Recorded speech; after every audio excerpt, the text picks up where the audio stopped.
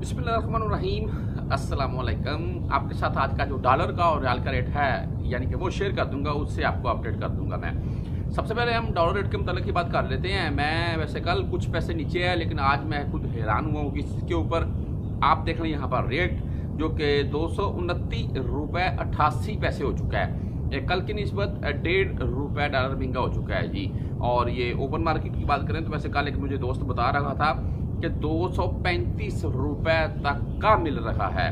तो बहरहाल, ये तो फिर जो भी जितने आप पंजाबी में आपने बात सुनी, जितने मुँह, उतनी बातें। तो अभी आपको रियाल रेट के मतलब अपडेट करता हूँ मैं।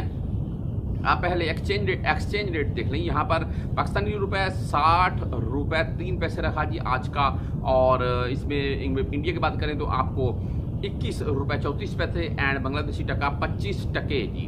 और मुख्तलिफ़ बैंकों के हिसाब से अभी आपको मैं अपडेट कर देता हूँ। मैं अभी बैंकों को, बैंकों में भी साठ लग चुका है, अल्हम्दुलिल्लाह। ये इस चीज़ के ऊपर मैं यही कह सकता हूँ, वो कैसे देख लें? सबसे पहले बात करेंगे वेस्टर्न यूनियन की। इनका रेट आज का रखा है साठ रुपये अट्ठारह पैसे और तेईस रेट इनकी फ़ीस है जी। तहवील राज़ी की बात करें, यानी कि राज़ी बैंक उनासठ रुपये सिक्सटी एट पैसे और दस रियाल फ़ीस के साथ है जी। दस, सत्रह और तेईस रियाल फ़ीस, तीन किस्म की फ़ीस होती है इनकी। एस टी सी पे की बात करें तो आपको पूरा साठ रुपये रेट है जी, और सत्रह रियाल पच्चीस लाल इनकी फ़ीस है। फौरी बैंक बैंक जजीरा की बात करें तो आपको साठ रुपये छप्पन पैसे आज का रेट मिल जाएगा, और दस रियाल इनकी फ़ीस है। अगर बात करें इंजाज बैंक की तो इनका रेट आज का उनासठ रुपये सत्तर पैसे रहा जी, दस, सत्रह और तेईस रियाल फ़ीस के साथ है।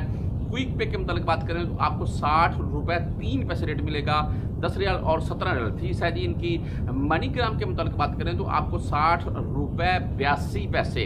अक्कासर के करीब पहुँचा दिया मनीग्राम वालों ने वैसे। मनीग्राम का रेट हाई होता है अगर आपके नज़दीक बैंक को मनीग्राम का तो वहाँ से पैसे भेज लिया करें ए, आपको फ़ायदा हो जाएगा। साठ रुपये बयासी पैसे रेट है जी मनीग्राम का और तेईस रेट इनकी फ़ीस है। टेली मनी यानी कि ए एन बी बैंक के मतलब बात करें तो आपको उनासठ रुपये सत्तर पैसे रेट मिल जाएगा और पंद्रह रियाल इनकी फ़ीस है जी। फ़ीस आपको पता है, मुख्तलिफ़ बैंकों की मुख्तलिफ़ होती है, लेकिन फिर भी दस, सत्रह एंड तेईस रियाल यही फीसें होती हैं।